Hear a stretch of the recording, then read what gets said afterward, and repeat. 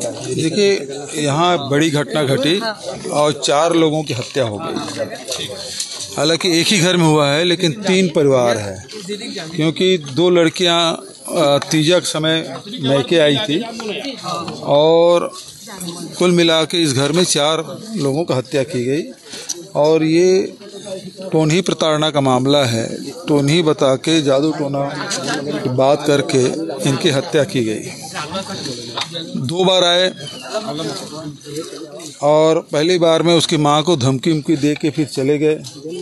और इसमें उसका बीपी बढ़ा तो उसके लड़के उनको लेके डॉक्टर के पास ले गए थे। और इस कारण से उसकी माँ और एक लड़का उसमें बचा।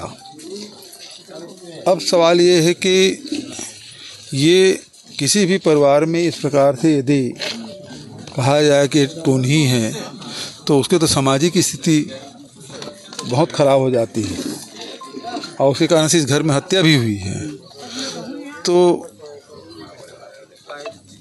सामाजिक जो मान सम्मान है वो ख़त्म हो जाता है। दूसरे लोग भी उस प्रकार से देखते हैं।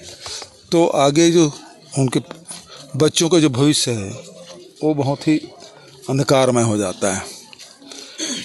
टोनी प्रताड़ना कानून बना हुआ भी है, लेकिन ये बड़ी घटना यहाँ घटी। सुकमा में भी उस दिन हुआ था और दूसरा यहाँ।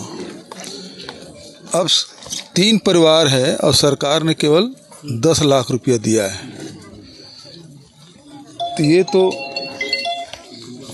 इस परिवार के साथ एक तो ऐसी दुख तीन तीन परिवार के लोग एक घर में, चार लोगों की मौत हो जाना। और उसमें केवल दस लाख रुपया दिया है तो ये तो उनको बल्कि उनका उपहास उड़ाने जैसा है। मछुआ महासंघ के द्वारा ये डिमांड की गई है कि इनको एक एक करोड़ रुपये, क्योंकि तीन परिवार है अलग अलग क्योंकि मायके आई थी, कोई सिरनी राना के हैं, कोई एक गंगई कहाँ, तीन जगह से हैं, उसके मिस्टर लोगों से मेरी मुलाकात हुई, उसके पति तो इनकी डिमांड ये कि सास की नौकरी दी जाए, क्योंकि विशेष परिस्थिति में इसकी हत्या हुई है। टोनी प्रताड़ना का मामला है।